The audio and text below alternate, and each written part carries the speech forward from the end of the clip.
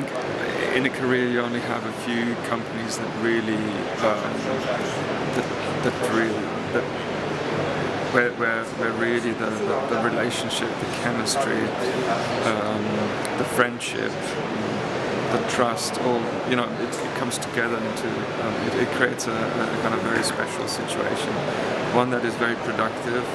Um, um and at the same time very challenging, very very close, very personal, um, an ideal environment really. Um, and, and Plank is, is, an example for me. I've, been working with them for more than 10 years and I think it will continue. It's not every year is uh, has the same kind of output or productivity, but um, the dialogue continues, the um, kind of the search for doing just uh, doing projects together.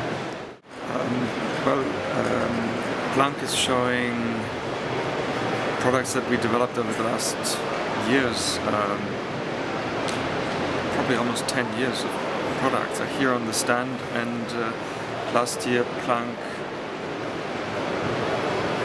freshened them up. Um, new colors, refined materials, refined details, um, changing just small things, and I think it's um, it's almost invisible, but it's actually very necessary and and uh, something that um, I think we should do, companies should do every now and then.